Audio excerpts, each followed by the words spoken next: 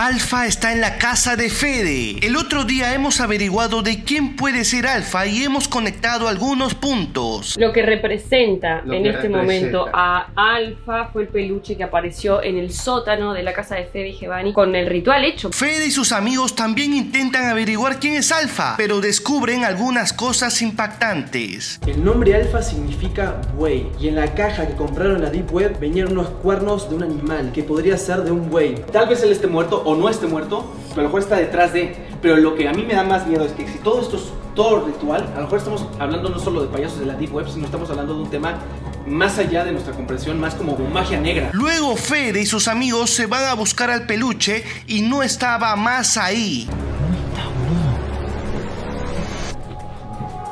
¿Será que Alfa está jugando y se oculta por el túnel? Suscríbete ahora mismo tocando el botón rojo para ver la continuación.